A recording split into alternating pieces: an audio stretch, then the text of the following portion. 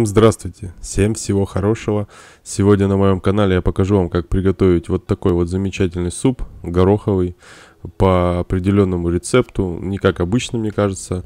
Он не, не прозрачный, он густой, мясистый, прям как для мужичков. Для мужичков. И с топочкой, само собой, здесь. Непосредственно готовки. Э, вот продукты на нашем столе. То, что нам минимально что пригодится. Гороха здесь, кстати, очень много. Так как я попросил жену ночью замочить горох, так как меня не было дома. И она замочила кружку. Кружки оказалось очень много для данного рецепта. Ну и вот что мы имеем на нашем столе. Так, кастрюля, я вам не скажу, что здесь 3 литра, конечно. Ингредиенты вы видите. Так, нам нужен картофель, один лук, одна морковь, буханка черного хлеба, э, грудка, желательно копченая, можно и с обычной, и томатную пасту. Ну, томатная паста по желанию, ее не обязательно. В принципе, процесс, рецепт простой, ингредиентов очень мало, так что я думаю, справится любой человек. Ну и для начала, самое главное, что нам нужно, нам нужно убрать, во-первых, э, кожу. Неважно, какая это кожа, это сырая грудка, либо копченая. Мы удаляем кожу. Э, грудку, конечно, желательно помыть, потому что если она не в вакуумной упаковке, непонятно, где она была. Так, ну и разделываем, отделяем мясо от кости. И данную кость мы отправляем на варку. Пускай она варит, чтобы она дала нам как бы бульон. Хоть тут особо небольшая кость, много бульона не получится, но все же. Мы отправляем ее. Не обязательно вычищать все прям досконально. Просто удаляем максимум сколько можем. И отправляем нашу грудку вариться. После варки мы достанем э, кость и отделим оставшееся мясо, которое у нас останется. Ну что ж, вот у наша косточка от грудки отправилась вариться. Добавляем туда, ну, 2-3 ложки гороха целого, чтобы все-таки горох ощущался. С остальным горохом я покажу, что будем дальше делать. Так как мне показалось, что горох слишком э, жесткий, поэтому я решил его добавить немного раньше, чтобы он как бы проварился. И вот я ложу его в блендер. Это у меня такой стакан для микса коктейлей Сейчас закрою крышку, в которой лезвие. И дальше вы увидите, что мы измельчаем горох. То есть еще 3-4 ложки мы просто измельчаем, чтобы у нас был суп непрозрачный, во-первых, мутный. И более такой, более густой, как э, суп-пюре. Так, вот мы его измельчаем на блендере. И далее все, весь этот горох отправится у нас в кастрюлю для варки. В принципе, если он у вас хорошо размочился, вы чувствуете, что он такой более мягкий, то можно его добавлять намного позже. Так как э, в данной ситуации, вот когда я его добавлял здесь, э, очень много потом пены было. Потом пришлось очень долго убирать эту пену. Так что добавляйте это позже. А так суп уже приобретает такую густую массу, и мутность. В принципе, то, что мне и нужно было. Не люблю прозрачные супа. Вот что у нас получается буквально через несколько минут. Уже такой более, ну, можно сказать, уже прям такой суп-суп. Прям суп-суп. Так, э, далее делаем пассировку. Для этого мы возьмем один лук и одну морковь. В принципе, больше для супа не надо. Извиняюсь, что камера трясется, так как я резал не самым маленьким ножом. хотел выпендриться или не знаю, что я хотел. Да, берегите пальцы, будьте аккуратнее. В принципе, нарезка лука особо роли никакой не влияет. Если кто не особо любит лук, можете мельче нарезать. Но на практике я могу сказать, что сколько бы лука не было, после пассировки, после варки его особо и не видно, в каком бы он виде не был. Ну, если вы, конечно, целую луковицу не бросите. Ну, здесь я опять выпендряюсь, что-то пытаюсь сделать звездочки. По-моему, у меня даже это получилось немного. А, мясо еще у нас не нарезано, вот стоит справа мясо еще, которое мы чуть позже нарежем и отправим немножко на сковородку обжариться, буквально чуть-чуть. Ну и вот я нарезаю те самые звездочки. Кто не понял как, просто э, вырезаете Э, небольшие углубления в моркови делаете, а потом ее нарезаете. У вас получаются такие, как звездочки. Вообще, в принципе, можно было эту морковь протереть, как обычно, на терке, но я просто люблю, когда морковь более большая и ощущается в супе. Поэтому я решил сделать данный тип, ну, то есть звездочки так ради интереса. Да и ребенку понравится. Ну вот и пришло время нашей пассировки.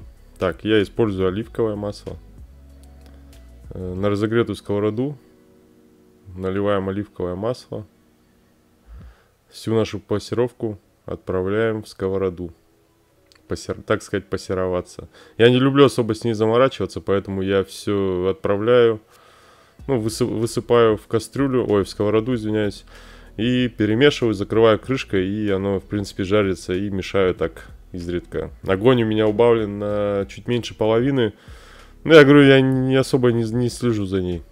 Но пассировка это неотъемлемая часть супа, так как морковь с луком дают свой цвет. Ну, лук-то, понятно, не дает, а вот морковь после обжарки в масле, она дает вот эту желтизну. А тем временем мы уже перешли к нарезанию картофеля. В принципе, здесь ничего сложного нету, я думаю, каждый нарежет. Здесь, кстати, сейчас еще fail будет. Как, как обычно это в жизни бывает. Я мог вырезать, конечно, но я не стал этого делать. Пускай все-таки будет. Ну, это обычная кухня. Что вы хотели? Везде все падает. Так, нарезаем произвольно картофель. Ну, полосками можно. Кто-то, если кубиками нарежет, но если будете варить долго, в принципе, он у вас практически весь раз, развалится. Да, еще про один лайфхак забыл рассказать. Я еще делаю так, я одну целую картофельную отправляю вариться. Ну, не целую, пополам ее разрезаю и отправляю вариться. И после того, как она сварится, я ее разминаю и также отправляю в суп. То есть суп еще получает такую более крахмальность. Вот и fail. Ай, упала. Ай, вторая упала. Так, ну и вот и наша грудка. Грудку нарезаем также полосками произвольно. Я думаю, ничего сложного здесь ни у кого проблем не возникнет. Ну, если только собака вот не прибежит справа, которая хочет. Я не помню, дал ему или что-нибудь или не дал. Возможно, дал. Так. Ну, здесь я кубиками нарезаю, так сказать. Здесь я уже отправляю нашу курочку рябу в сковороду. В принципе, это делать не, ну, не нужно, но я почему-то захотел еще ее обжарить, чтобы она была такая более зажаристая. В принципе, делать для рецепта это не обязательно. Хотите делайте, хотите нет. Вообще, не обязательно использовать, например, копченую грудку. Можно использовать какую-нибудь сырокопченую колбасу, копченую колбасу. Ну, Все зависит от ваших вкуса и вашего предпочтения мяса. В принципе, можно использовать любое, какое вам э, пожелается. Все, что здесь сработает ваша фантазия. Основной рецепт есть, все остальное у вас в голове. Как хотите сделать, так и делайте. Вот в данный момент то, что я делаю с буханкой хлеба, не надо говорить, что это варварство, что я порчу хлеб. Э, в каком-то в одном из ресторанов, ну, видео из ресторана, не, не про готовку, а именно в ресторане подача, там была подача именно горохового суба э, в буханке черного хлеба. Но там, правда, была круглая. Вообще, почему-то буханки стали намного меньше, не знаю почему. Раньше буханки были больше. Ну и вот принцип э, того, что я сделал. Конечно же, я накосячил здесь немножко. Я потом объясню, что здесь не так. Я прорезал, короче, немножко с краю корку. Я очень переживал, что потекет, поэтому еще все это поставил фольгу. Думаю, если протекет, то в фольгу. Но ничего страшного не произошло, ничего не вытекло. По поводу хлеба. Вот этот кусок у нас пойдет на гренки. А вот эти все остатки, которые я сейчас буду зверски вы выковыривать из, э, изнутри буханки, все пойдет птичкам. Так что ни одна буханка в данном видео не пострадала. По итогу у меня получилась вот такая вот э, буханка полая то есть, то бишь, кто не понял, это тарелка для супа. Очень вкусный суп получился из буханки и немножко придало хлеб э, свою изюминку. То, что я сейчас делаю, это добавляю томатную пасту. Делать этого не обязательно. Это моя хотелка. Я добавил ну, столовую ложку, можно сказать. Ну, она даст свою небольшую красноту супу. В принципе, это не обязательно. Все, это обжарилось. Отправляем у нас нашу пассировку в суп немножко перемешиваем. Так, это буханка завернутая в фольгу, которая я говорил, чтобы не протекла. Так, пришло время специй. Как видите, уже суп более такой, прям гороховый, гороховый. Так, пару лаврушек.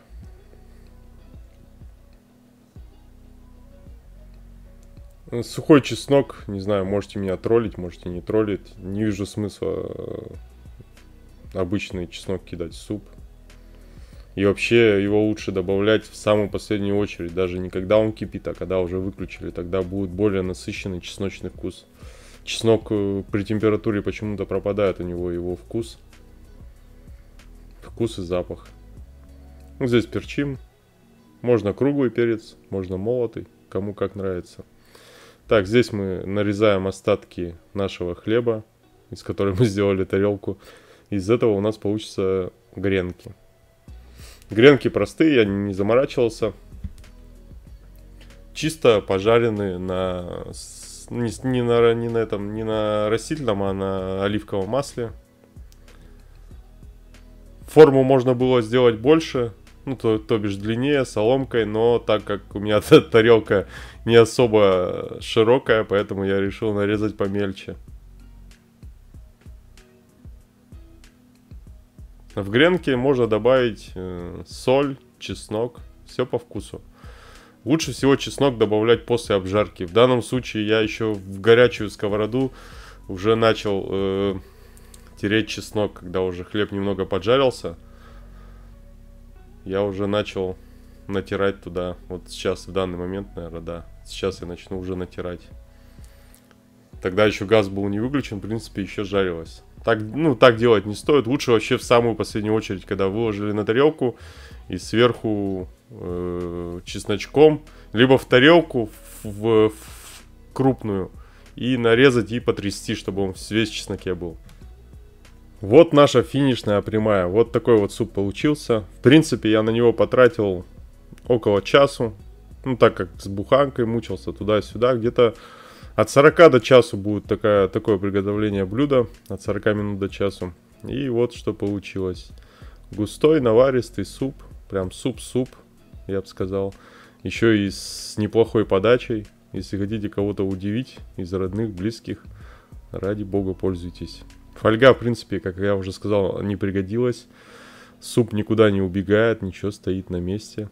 Так, э, зелень, конечно же. Укроп, петрушка. Ну и наши греночки сверху с чесноком. Отличный получился суп. Вот прям сейчас сижу, смотрю и прям, прям слюни, слюни во рту на сходить поесть. Так как я его варил вчера, он еще есть. Буханку, правда, жена съела, но суп лежит, ждет. Сегодня, кстати, на второй день всегда, кто не знает, суп вкуснее, когда он настоится, все прям, все впитает в себя весь дух все, всего того, что ты вложил в него. Так что вот что получается. Всем большое спасибо. До свидания. Надеюсь,